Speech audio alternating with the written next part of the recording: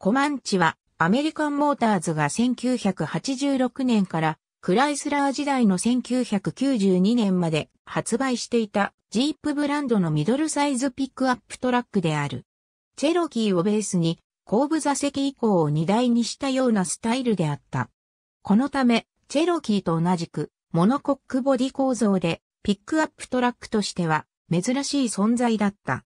サスペンションは前輪がチェロキーと同じコイルスプリングだったが、後輪は荷台の重みを支えるため、チェロキーよりも長いリーフ式サスペンションになっていた。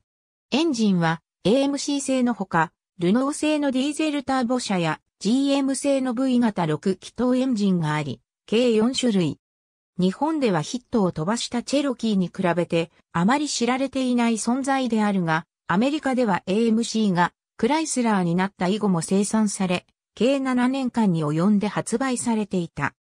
しかし、ライバルのフォードレンジャー、GM のシボレー S-10、GMC そのまなどに比べると、ボディの種類が少なく、売り上げは低迷していた。コマンチェは、アメリカ合衆国の北部と南部にわたる範囲でかつて住んでいたインディアン部族であるコマンチェに由来する。ありがとうございます。